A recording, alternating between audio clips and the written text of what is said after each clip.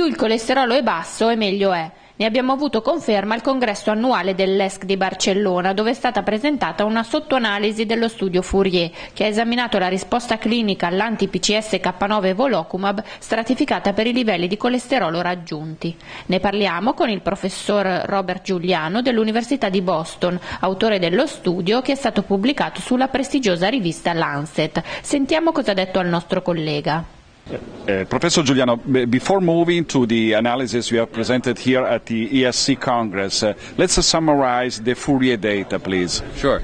So, Fourier was a randomized controlled trial of the PCSK9 inhibitor evolocumab compared to placebo and over 27,000 patients with stable cardiovascular disease, all of whom were treated with a statin.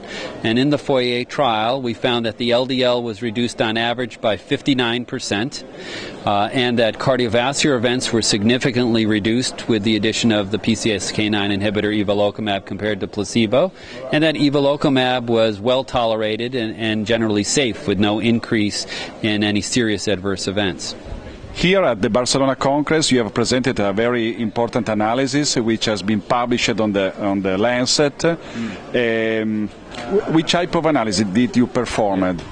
In, in, this second secondary analysis from the Fourier trial, uh, we divided the uh, entire population into five groups according to the achieved LDL value that they had at four weeks. And so those groups were uh, the lowest group was less than a half a millimole per liter, and then between uh, 0.5 and 0.8, 0.8 and 1.3, 1.3, uh, 1.8, 1.8, 2.6. So we have five groups according to achieved LDL. LDL, and then we compared the efficacy between the achieved LDL groups and also the safety.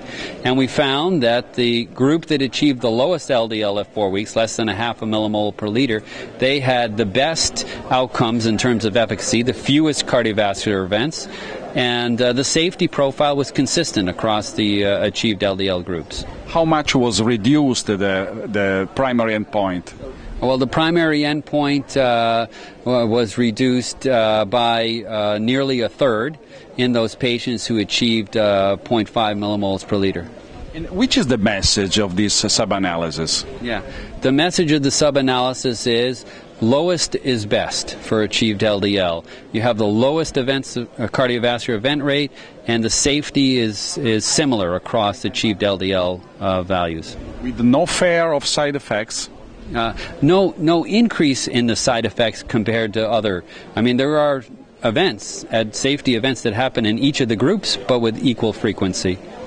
So reducing uh, at the um, lowest uh, possible level the LDL cholesterol doesn't improve the the the, um, the, the, profile, the, the, side effects profile of, of, the drug. It's a similar safety profile. You, you, you have neither more safety events nor fewer safety events. So it's safe. It's safe, yeah, relatively safe.